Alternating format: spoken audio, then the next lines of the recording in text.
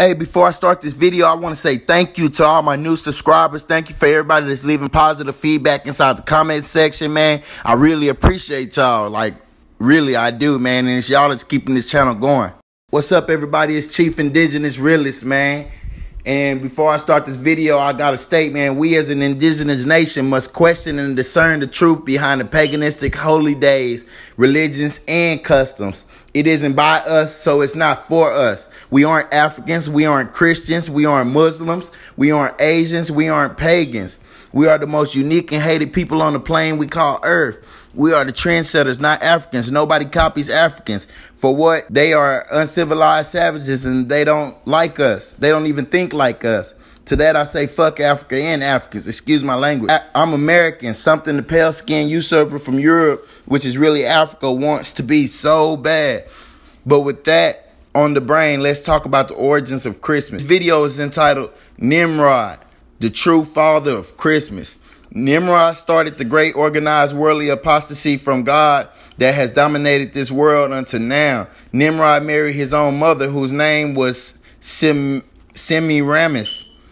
After Nimrod's death, his so called mother wife Semiramis propagated the evil doctrine of survival of Nimrod as being a spirit being. She claimed a full grown evergreen tree sprang, sprang overnight from a dead tree stump which symbolized the springing forth unto new life of the dead Nimrod. On each anniversary of his birth, she claimed Nimrod would visit the evergreen tree and leave gifts upon it. December 25th was the birthday of Nimrod.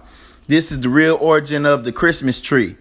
Traditionally, a Yule log was burned in the fireplace on Christmas Eve, and during the night, as the log's embers died, there appeared in the room, as if by magic, a Christmas tree surrounded by gifts. Now, we all know that that's not real. There's just nothing true right there. All that was was uh, the pale skinned Europeans propagating their religion early in their children's life and throughout America, trying to bring their own culture. But see, there's there's symbolism within the Yule log and within the tree. Here it is. The Yule log represented the sun god Nimrod, and the Christmas tree represented himself resurrected as his own son Tammuz. The Yule is the dead Nimrod, human ruler of the ancient Babylon, who was eventually deified as the sun incarnate, hence a god. The Christmas tree is the mystical Tammuz, the slain god come to life again. The real origin of Christmas goes back to ancient Babylon. It is bound up in the organized apostasy with which Satan has gripped the deceived world these many centuries. In Egypt, it has always believed that the son of Isis, Egyptian name for Queen of Heaven, was born December 25th. Semiramis also born bore the title Queen of Heaven, and she was Nimrod's mother slash wife. Paganism celebrated this famous birthday over most of the known world for centuries before the birth of Jesus. December 25th was highly honored and recognized by Nimrod's supporters. Many centuries later, this pagan custom was Christianized as being the birthday of Christ. Lent, Easter, Christmas are all of Babylonian origin and are all paganistic holidays aka holy days that they pushed upon us.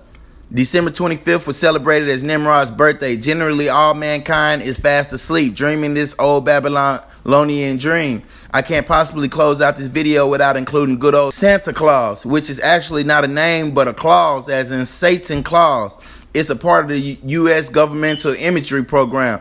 Well, anyway, I must continue by bringing in the fact that the person is represented by Santa is Krampus.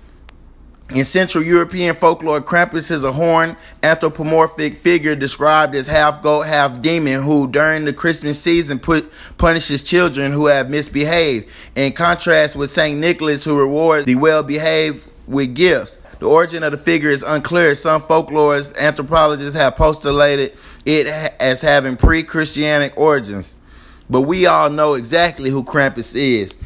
Do y'all recognize who Krampus is? It's the Baphomet, man. Look at the description of Krampus and you'll see that he is indeed Baphomet, man. That's the Baphomet all over again, man. Described as a half goat, half demon. I'm Indigenous Realist and I'm out, man. Thank y'all for coming to see this video. I got much more coming, man. Like, I'm going to keep new info, man. I try to put up three, four videos every day, man. I don't just put up nothing for views. I don't care about views. I don't get paid for this, man. I don't want y'all money. I don't need y'all money, man. I'm just out here surviving, man. I want to bring this message to my people, man. It makes me feel good to be able to let people know, man, that we are not pagans, man, that we something special, man, that we indigenous to this earth, man, aboriginal, whatever you want to call it, man. We from here, man.